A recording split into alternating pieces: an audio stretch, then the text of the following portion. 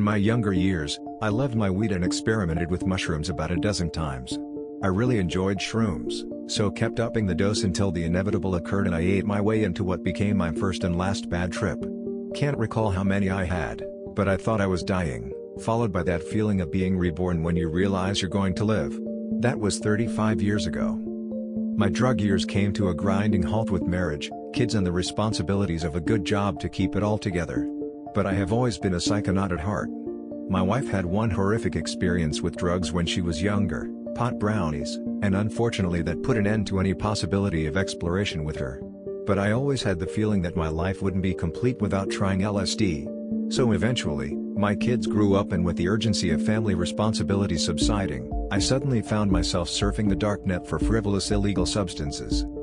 I was amazed at the staggering amount of drug-related information on the web, and the ease by which illicit substances could be secured online. I voraciously consumed trip reports for substance after substance like a kid in a candy store until I found what I was looking for, what appeared to be the holy grail of psychonaut experience, the candy flip.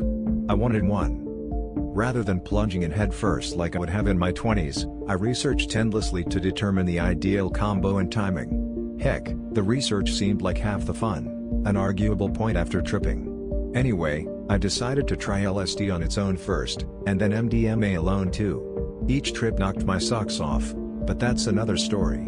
Finally, after four months of learning the ropes, with high-quality LSD and very pure MDMA in hand, I was ready to flip. I couldn't help but laugh at the irony of my pending adventure. Here I am, nearly a senior citizen, executive manager by day, ready to blow my fucking mind by night. But hey, stereotypes are bullshit anyway. Although my job can be extremely demanding, I am a firm believer in work-life balance and the balance has been tipped way too far the other way for the past 35 years. I am young for my age, and in excellent physical shape. I eat healthy and look after myself. I felt ready in every way. Nothing would have made this trip more complete than experiencing it with my wife. But that was not to be.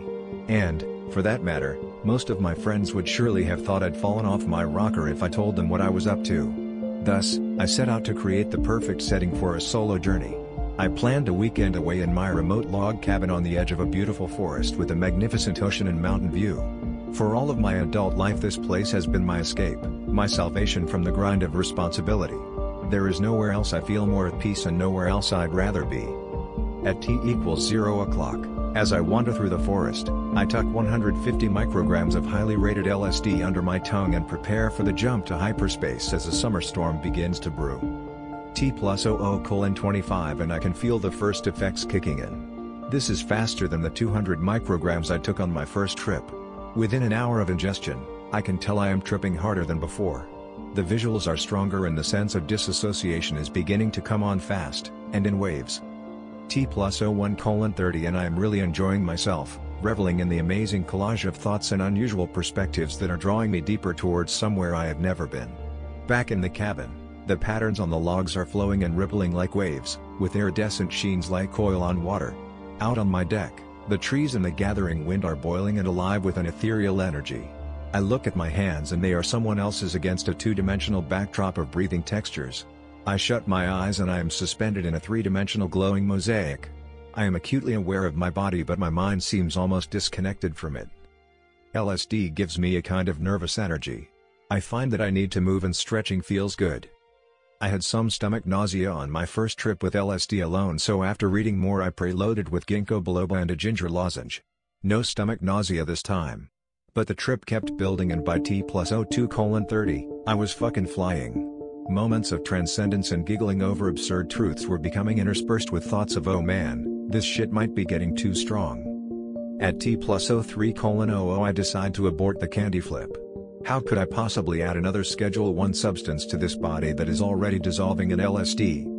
And then it happened, a moment I recognized from my first trip, it's a subtle yet very distinct change in the energy of the LSD as it peaks and then morphs into a different phase. At this point, the nervous energy in my stomach begins to dissipate into something I can only describe as a wave of building euphoria. It is now T plus 03 colon 30 and impulsively, I do something that shocks even myself at this moment, I grab my MDMA pill and gobble it down. Over the next 5 minutes I found myself alternating between thoughts of you fucking fool and Holy shit, hang on dude, get ready to rock and roll. It took 45 minutes to feel the MDMA when I took it alone, but not on LSD. Completely unprepared I was. It took only 15 to 20 minutes for the MDMA to kick in. And this is where I languish for words to describe what happened next. At first, I lay down on my couch still somewhat overwhelmed with the LSD but full of anticipation, tinged with some anxiety. There's a lot of chrome fixtures and shiny edges on things in the cabin and I remember noticing how exquisitely they gleamed. And then suddenly, wham! The clarity and euphoria of the MDMA surged into every extremity of my body and in what felt like only a moment, the LSD trip was transcended and elevated into a consciousness that defies description. The timing must have been perfect. It was like the MDMA commandeered the LSD trip and synergized the morphing LSD afterglow with the building MDMA euphoria and sense of oneness. The very first perception that blew me away was visual.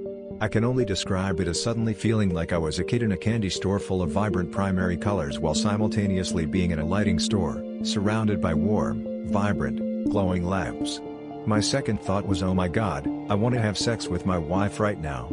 Of course, knowing this might happen I had been prepared for this contingency.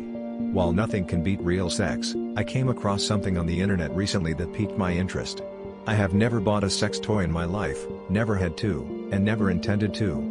But this device, which caught my eye while I was surfing the web one night was getting rave reviews. Some claimed it was the best male sex toy ever created. If I was gonna candy flip without my wife, I decided this was my next best option. I immediately set the thing up, not the easiest thing to do while flying high as a kite, and then set to work on the device. As fate would have it, both the LSD and the MDMA peaked simultaneously as I explored my very first sex toy. For all intents and purposes, it looked and felt like the real thing. Within seconds, my whole body was flooded with an unimaginable sensation of bliss, a complete oneness with everything around me, and a sense of total, utter awe. It was like holding your newborn child for the very first time and looking into its eyes, like seeing the first magic trick that ever blew you away as a kid, like the moment you suddenly realized how big and endless the universe really is, all rolled into one. While words can't do it justice, there is one thing that I think can give a sense of it, it's in the movie Contact. Go to the place near the end where Ellie comes out of the wormhole and she suddenly finds herself with the entire star system of Vega spread out before her, it's the part where she says they should have sent a poet. Watch that one minute clip of the film and you'll get a sense of the depth and intensity of a candy flip. I lost track of time as I made love to my toy.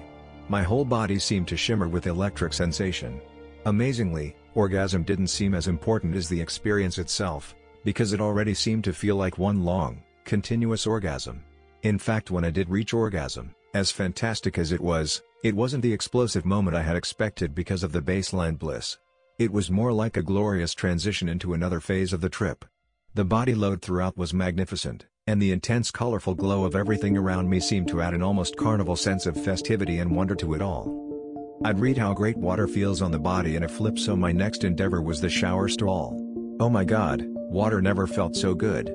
Set on a relatively low pressure, I let the warm water trickle down my body, and it made me writhe in pleasure as it tickled every nerve ending in my body from head to toe. I drained the hot water tank, and then begged it to produce more. T plus 4 colon 30 and I am nestled amongst cushions between two high quality speakers and set my favorite tunes to start rolling. I didn't move for three hours. Once embedded in that fourth dimensional universe of sound, I was paralyzed in a journey of beauty, deep thought and by the mere joy of existence. During this time I thought deeply about friends and family. It allowed me to see my life from a unique perspective, to see where I could be more giving, more understanding, and more accepting. I felt utter compassion for a friend who was dying of cancer and became determined to engage with him in more meaningful ways. I pondered on all that I am, and the mystery of who I may yet be. I traveled a lifetime in those three hours. T plus 7 colon 30, I finally stir from my den of iniquity. I am still deep in the afterglow but the trippiness has begun to fade. It is very late and I feel almost ready to sleep. In a final attempt to prolong the moment, I smoke a quick bowl but it somehow seemed to pale in comparison to what I had just come through. By about T plus 8 colon 30 I drifted off into a pleasant sleep. I think I slept for about 4 to 5 hours. When I got up, I was surprised at how stoned I still felt. The day after I did LSD alone was fabulous and I had a kind of warm glow that stayed with me the entire day. I expected a hangover after trying MDMA alone, and although it didn't happen, I did feel slightly off but not in a bad way. However, the candy flip hangover was significant. Not like that poison feeling after drinking too much, but feeling abnormal. By the time I got home about 12 hours after I woke up, I was convinced my family would notice there was something odd about me.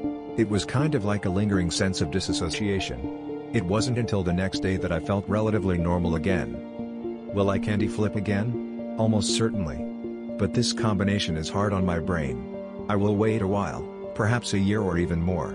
Not so much because it's hard on the body, but also because I can't imagine anything being as good as the very first time. I think one way to help preserve the magic is to not overdo it. Besides, I've got some mescaline burning a hole in my pocket, ready to try for the very first time.